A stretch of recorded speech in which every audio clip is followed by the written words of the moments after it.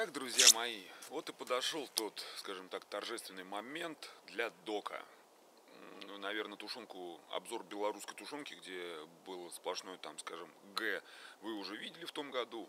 Вот этот вот ко мне, вот эта вот баночка ко мне приехала, ну, я не помню, с каким уже ножом, как бы док мне высылал, опять же, из Беларуси. Тушенка едет, приехала из самой Беларуси, то есть прошла две границы, там, а, вернее, одну границу, два таможенных контроля, российский, белорусский, как бы. И вот она у меня. Ну, правда, да, я решил как бы задержать немного. Не было времени этим заниматься. И провалялся эта тушенка у меня в машине.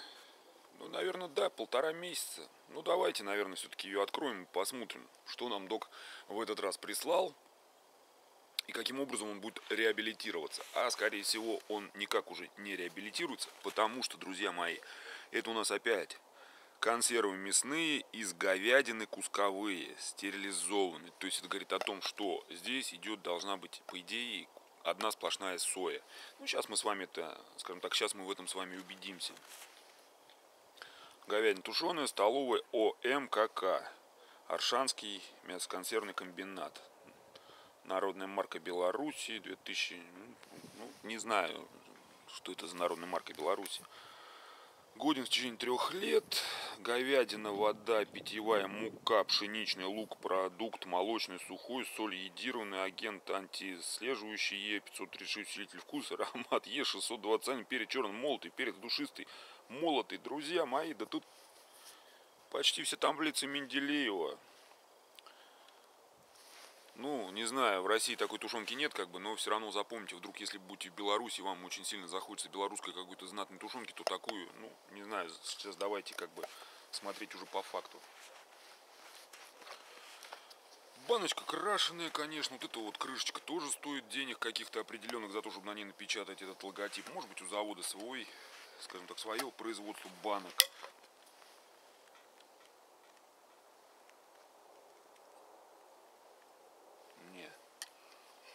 с ножом все в порядке.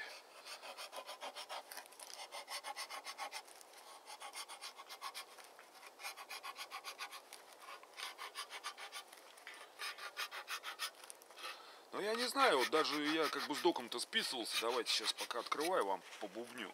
С доком как бы списывался, говорю, док, ну ты что прислал-то? Он говорит, я как бы в тушенке вообще не силен, а, и я ее не беру и не знаю. Но первое, что ты заходишь в магазин и смотришь, ну, конечно, не знаю, насколько человек вообще не силен в тушенке и далек от нее, но говядина кусковая, допустим, и говядина высший сорт, ну, мне кажется, разница есть как вообще, как не знаю, что. Давайте, ладно, отравимся этими, этой белорусской тушенкой, попробуем ее. Ну что, первый органолептический осмотр –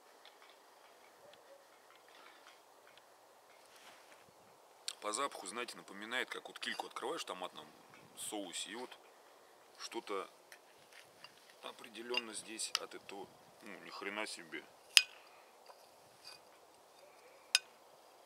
Я надеюсь, там видно вот этот кусок говядины.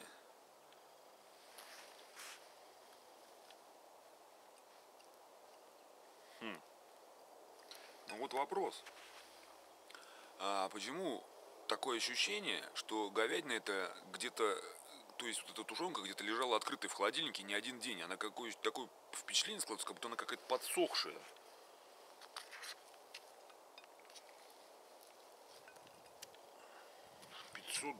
Пять грамм. Вообще не кислый результат-то. О, зашибись. Вот она, она пошла. Тушенка кусковая. Ну, в принципе, если она как бы стоит копеечных денег, то такую можно... Да нет, собаки, блядь, эту химию брать тоже как бы не вариант. Я бы не стал лично. Да, теперь попробую расковыряю это в этой маленькой тарелочке эти 505 25 грамм тушенки. Ладно, давайте я ее попробую. Потом уже как бы постараюсь вам что-то показать. На свой страх и риск пробую, друзья, рискую здоровьем.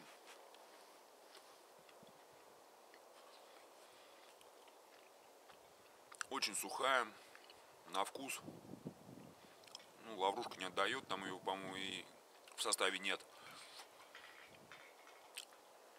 М -м, на вкус. Я говорю, такое впечатление, как будто она где-то пересохла. Так, а дата выпуска у нас 19, 11, 15. Она у нас тушенка-то 15 -го года, а срок хранения у нее трех лет. Это то есть получается 11 19 ноября 16 года, 19 ноября 17 2, 19 ноября 18 ну почти три года. Но если, друзья, тушенка даже с таким вот количеством консервантов хранится так недолго, то как бы не знаю я, что вообще здесь можно говорить и как бы что здесь можно добавить. Зачетная куча, короче, какого-то непонятно чего. Но хоть радует одно, что здесь в этой кусковой тушенке я не вижу сои кусков. Хотя соя, она сейчас выглядит как, в принципе, если она протушена вместе с мясом, ее от мяса не отличишь, если только, наверное, по вкусу она будет немного хлебом отдавать. Вот. А так, мясо здесь есть, давайте попробуем вот это. Здесь оно вроде как посочнее выглядит.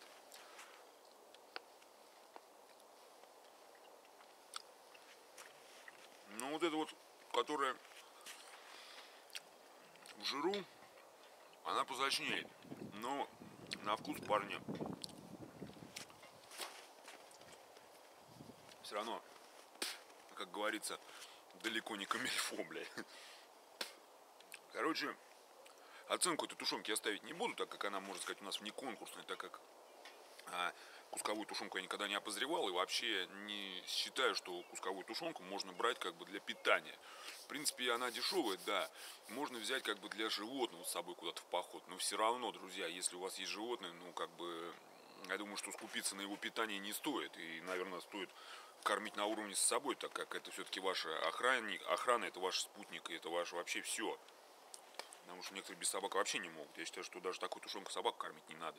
Ну, хотя, наверное, есть, конечно, индивидуумы, которые покупают такую тушенку, варят какую-нибудь кашу, баланду, и туда это бухают, и, и собака себя нормально чувствует. Но не будем всяким уподобляться. Ладно, друзья, давайте. Оценку ставить не буду, повторюсь. Короче, вот такая вот ОМКК. Говядина тушенка, консервы мясные из говядины, кусковые, стерилизованные. Ну, одно радует хоть, что сои нет, но вот эту вот пересушность, вот эта вот ее требуха, короче, не знаю. Ну, делайте выводы сами. Если вы живете в Белоруссии, решайте сами, стоит вам покупать такую тушенку для питания себя и домашних животных или не стоит. Наше дело маленькое, показать. Ваше дело уже остальное думать. Как всегда, палец вверх, кто не ставит, тот кто? Вонючка. За сим прощаюсь, всем удачи, всем пока.